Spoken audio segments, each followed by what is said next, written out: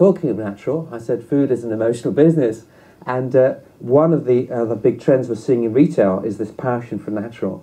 A passion not just to have natural delivered, but actually to touch it, which is again actually quite good news for the physical retailer. This is one of the areas where people actually really, really, really don't want to order it online. They want to feel the tomatoes, they want to smell um, uh, the, uh, um, the aroma of the herbs which they're buying, they want to know what it is uh, that is going into their mouths. They actually kind of want the fantasy that it's come from the local shop, from the local farmer, from the local ground, and so on. Part of the physical journey.